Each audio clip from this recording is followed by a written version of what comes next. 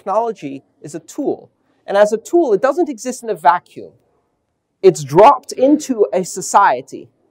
And society decides how every person uses that tool in a very decentralized manner. And as you use the tool, you change the tool. Your interaction with technology changes its nature. It molds to become what you want it to be. And that is true of centralized technologies. It is 10 times as true of decentralized, open systems where innovation does not require permission, where the development is guided by consensus in an open system. It is absolutely naive to assume that just because the founder thinks this is what it will be, that's what it will be. And it turns out that Ethereum is not a system of applications that run exactly as written without third-party interference, censorship, et cetera, et cetera. And Bitcoin is not simply a system of peer-to-peer -peer digital cash. They evolve. And the tricky thing about evolution is, even when it's directed, when you make a choice on any feature of the system, you're constrained by two things. One, you have no idea what the marketplace, what society will do with that choice, and what path it will send you down. And more importantly, when you make that choice, you are always making a trade off. If you choose one path, you close the possibility of pursuing other paths. If you're a shark and you have gills, you can breathe in salt water. But by necessity, you cannot breathe in open air. If you are a lion and you develop claws, you will not have the dexterity of primate fingers. Every choice opens one path and closes billions of other possibilities that could have been pursued. Even if you knew exactly where you're going, choices have consequences. They limit things. They are trade-offs. They are inherently trade-offs.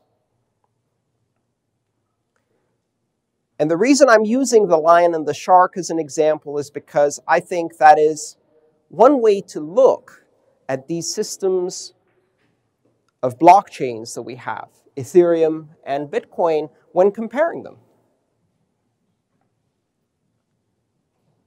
If Ethereum is a shark, it is the apex predator within its own environment. It's a fast swimmer, it can breathe underwater, it eats anything that bothers it. If Bitcoin is a lion, it rules the land, but it doesn't swim very well.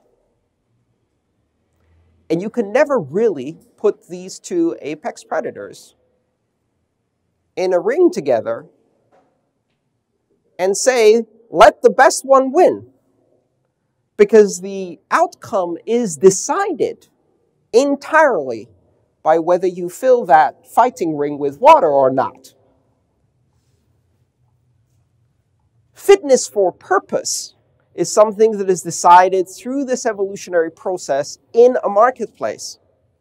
There is no such thing as best. In evolutionary terms, fitness does not mean the strongest. It means the one that has the best adaptation for its environment. And so then the question becomes, what is the environment for Ethereum? What is the environment for Bitcoin? What applications are the ones that are most suited to be solved with something like Ethereum, and what applications are the ones that are most suited to be solved by Bitcoin? or any of the other systems out there. And necessarily, some choices have consequences. What is Ethereum best suited for? Ethereum has made some very specific trade-offs, and these were not accidental, they were very deliberate. It is a Turing-complete language, which offers enormous flexibility in programming and brings Ethereum applications very close to the actual platform. Bitcoin is not Turing complete. And that's not an accident. It's not Turing complete for a very specific purpose. It's designed to be extremely limited in its flexibility in order to deliver very, very robust security. Because simplicity is a fundamental security practice. And if you choose to do things in a very simple way to make them very robustly secure, you necessarily close the door on billions of applications that we've never thought of that you do not have the flexibility to do.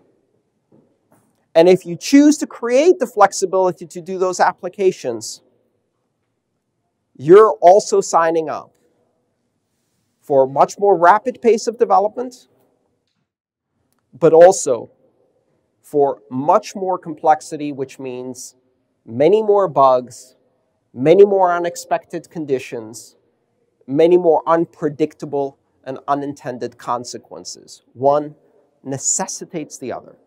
Ethereum and Bitcoin have launched themselves on different paths. Those paths do not cross. Bitcoin cannot do many of the things that Ethereum does. Ethereum cannot do many of the things that Bitcoin does, but they can both do something miraculous. They can reorder the fundamental institutions of society around network-centric systems of organization instead of institutions. They can create opportunities for innovation without permission. I'm a maximalist for open, borderless, decentralized, permissionless systems that allow us to solve problems in society with technology that is open for everyone. Celebrate the lion. Celebrate the shark. They're both kings of their own unique environmental niche. Thank you.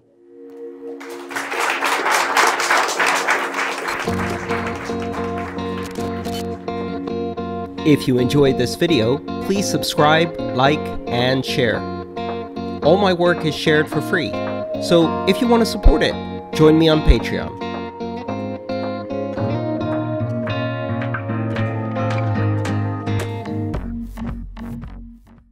Hi, thanks for watching the video.